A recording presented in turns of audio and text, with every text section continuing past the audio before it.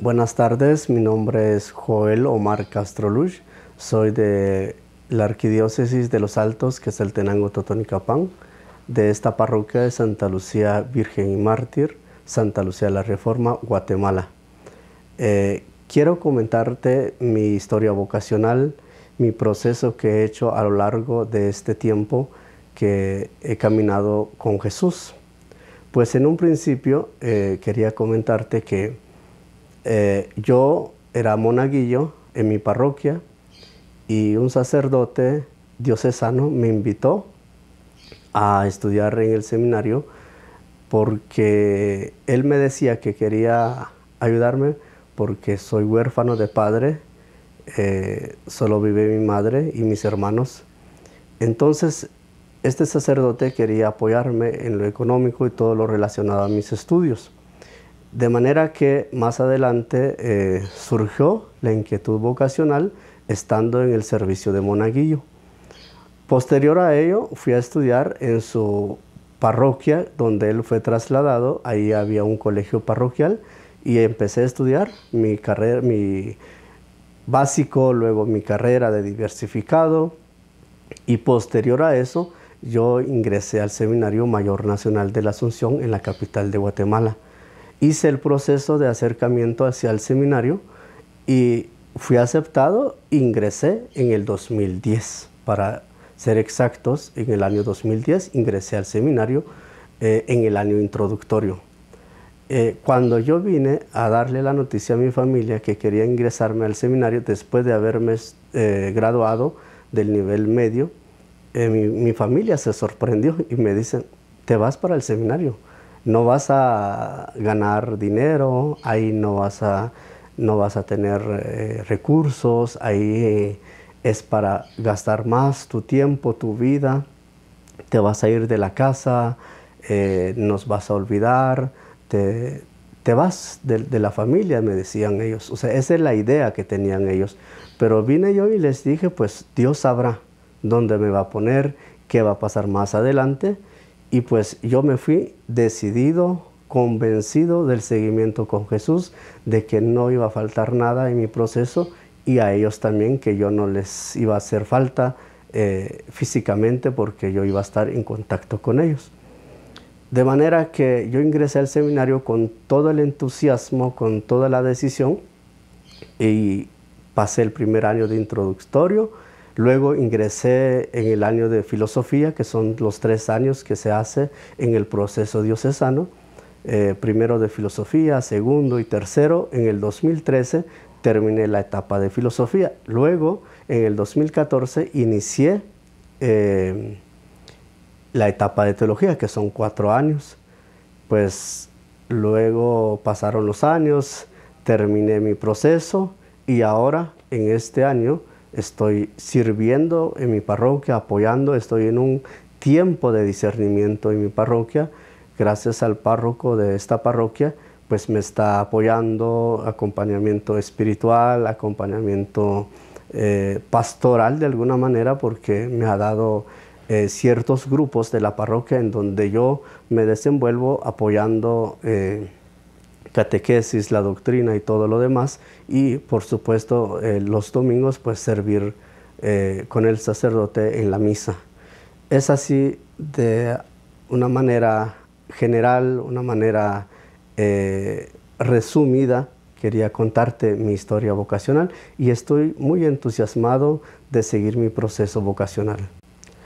Bueno, una de las cosas que a mí me ha llamado la atención y es el que le da el sentido a mi vocación en un futuro ministerial es la misma gente, la parroquia, los grupos, los movimientos, eh, los grupos laicales que están eh, conformados por las parroquias. He tenido experiencias eh, de misión en otras parroquias y la actual donde estoy, pues lo que alimenta mi vocación es la sencillez de las personas, es la, la espiritualidad de las personas me contagia y unido a eso mi vida de oración y, y hay una cosa muy particular que quiero resaltar acá, es que mucha gente me pide rezar por ellos. Yo no sé qué ven en mí, pero mucha gente me pide rezar por ellos. Y, lo hago con mucha disponibilidad y esa es la parte más espiritual que he encontrado y el encuentro que, que yo siento que hago con Jesucristo, porque yo no soy quien para interceder por las personas, pero la gente me lo pide y lo hago con mucha disponibilidad y con mucha fe. Eh, eh, rezo por ellos, yo rezo las vísperas, las laudes, y las completas, que esa es mi, oración diaria, mi vida diaria, eh, con, en mi casa particularmente, y pues en la parroquia. Lo espiritual que vivo allá son las Eucaristías. Y no, diario, no, no todos los jueves eh, tengo la dicha de participar en la hora santa, pero sí frecuento en la hora santa y bueno, sobre todo la Eucaristía, que es lo que más quería contarte que, que para mí en la Eucaristía es donde me encuentro con Jesucristo, a Él le cuento mi situación, a Él le presento mi vocación, a Él le digo, ayúdame a discernir, ayúdame a encaminarme más cerca de ti. Cuando veo que el sacerdote eleva eh, a Jesucristo en cuerpo y en sangre, yo hago una oración muy especial en ese momento en donde le digo a Jesús, permítame que un día yo también te elevo por mis manos, tal vez pecadoras, tal vez no soy digno de lo que estoy pidiéndote, pero permítame servirte desde el ministerio sacerdotal en un altar. Y esa es mi oración. Eh, podría decirte que, casi es todas las veces que yo, que, que yo participo en la Eucaristía, esa es mi oración en esos momentos. Pues si tú tienes inquietud vocacional, pero tienes ciertos temores, ciertas incógnitas, ciertas perspectivas o expectativas eh, para tu proceso, pues lánzate, lánzate, pero siempre apoyándote en la oración con Jesucristo, discerniendo la vocación y encontrándose en la oración con Jesús. No hay otro medio más fuerte y más poderoso que es la oración. La oración es el que nos alumbra, es el que nos da esperanza, es el que nos da fuerza en nuestro proceso.